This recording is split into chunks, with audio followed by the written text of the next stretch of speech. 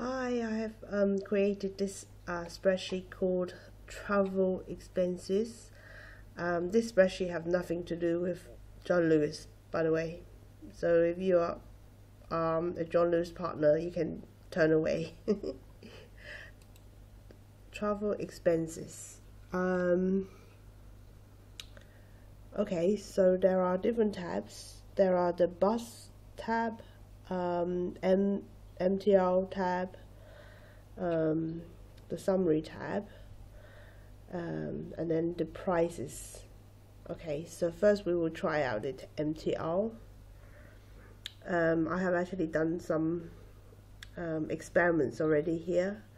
So um, all you have to do is to type in um, the date. So for example, April the 9th I know my dates are going backwards, but it will still work. So 4 slash 9. Okay, so that's um, 9th of April. And then you choose the station you're traveling between. And there is like a whole list of uh, station that you can choose from, as you can see. So I'm going to choose well, Daisy and then maybe Kennedy Town. And um, once you choose the two station, it will work out the price, and then it will just deposit the, the amount. And uh, when you do that, uh, there is like a grand total for April here. So I'm going to show you again.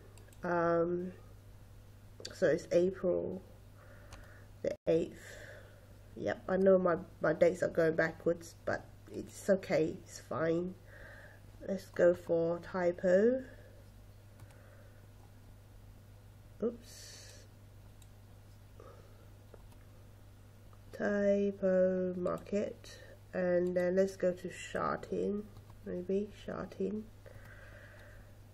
Shatin. And then again, uh, the price will come up and uh, the amount will appear. But if you are doing a return journey, you can just go ahead and type in 2, enter. Um, and then you'll have the grand total like this. And this data is actually collected in summary. So how much have I got? $71. So let's go to summary. In April, MTR spent $71 okay let's go to buses now. So the buses um, so all you have to do is to type in the dates like before 19th of April. So April slash 4 slash 19 and then choose the bus number uh, because with bus numbers there's so many uh, these are just the demo ones that I've got. Um, for example I'm going to choose 1122 which doesn't exist. And again it will just deposit uh, the price here. For buses you have got like long trips and um, short trips but I'm just going to make it simpler and have one price and not complicate things um, too much. And if you actually go to the bus prices, this is where you enter all the price, uh, all the bus number prices.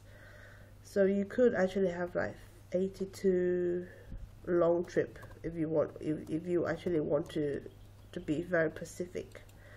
And for example, the long trip is ten dollar, and then 82 short trip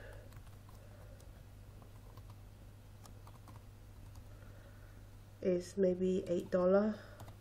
Okay so once you put that in the bus prices two two columns um, you can go back to bus. Um, now you can actually go ahead um, and select I'm just going to put another date the the, um, the option that we just put in. There you go long trip. Okay and then we're going to try the short trip so 82 short trip Whoops. Um, there you go. Um, that one was the formatting. The formatting was all wrong. So all you have to do is just to pull it down, pull it down like this, and then the formatting will be fine. And then 17, um, putting the date, uh, April the 3rd. Okay. Now, um, the April expenses is 138.5. So let's go back to summary. Yep, 138.5 for the buses in the month of April. Yep, um, that is um, my take on the traveling expenses, and I might just do another tab for taxi and for other transports that I haven't listed. Um, because the most obvious one is MTR because we do take it a lot.